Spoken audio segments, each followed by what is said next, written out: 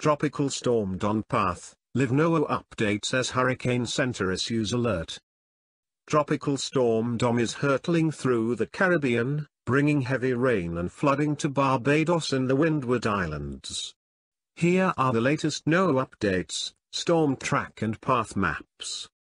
Bringing you updated tropical storm Don path information, live tracking maps, weather models and video footage as the storm roars towards the Caribbean.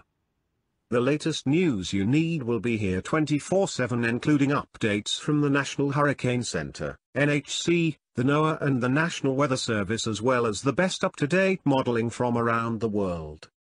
4.12 p.m. BST, 11.12 am AST, the latest tropical storm public advisory from the NHC reveals that the storm is gradually weakening as it heads towards the Windward Islands.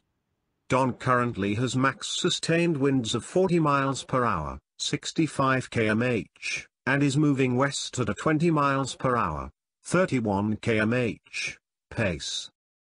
The government of St. Lucia has discontinued its tropical storm watch, but a storm warning remains in place for Grenada, Barbados, Bonaire and St. Vincent and the Grenadines. 3.25 p.m. BST, 10.25 am AST, the National Hurricane Center has been forced to deny any links between the latest tropical storm and President Donald Trump. I hadn't even thought about that, Max Mayfield, the former National Hurricane Center director who chaired the committee that added the name Don to the storm list, told the Associated Press. I guarantee you that it has no connection to Donald Trump. Many have poked fun about the similarity of the two names, including the Associated Press who tweeted, Hurricane Center calls Tropical Storm Don small and not particularly well organized. 3.00 p.m. BST, 10.00 MAST, the NOAA has released satellite images showing Tropical Storm Don moving towards Barbados, where it is expected to bring heavy rain and potential flooding.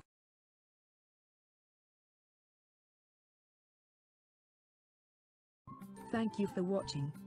Please subscribe to us on YouTube. If you like donate to us visit home on the page PayPal.